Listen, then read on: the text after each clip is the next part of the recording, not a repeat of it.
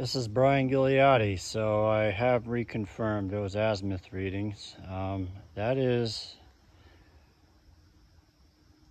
120.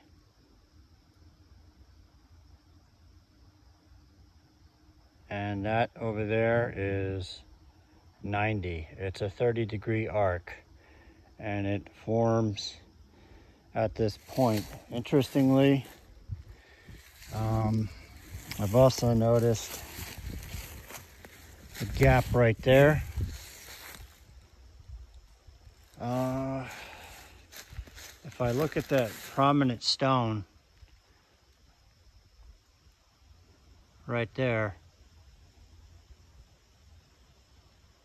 I uh, get a azimuth reading of 330 slash 150 degrees. That's my friend. I see it very common. Um, and over there, if you remember, that is the uh, 45. That's the uh, pair of rainstones that was at 45 degrees from observation stone 3.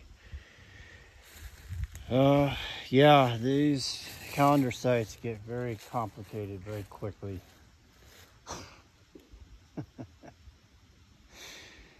Um, I'm gonna go to the other side. I simply don't have time to uh, absorb all this.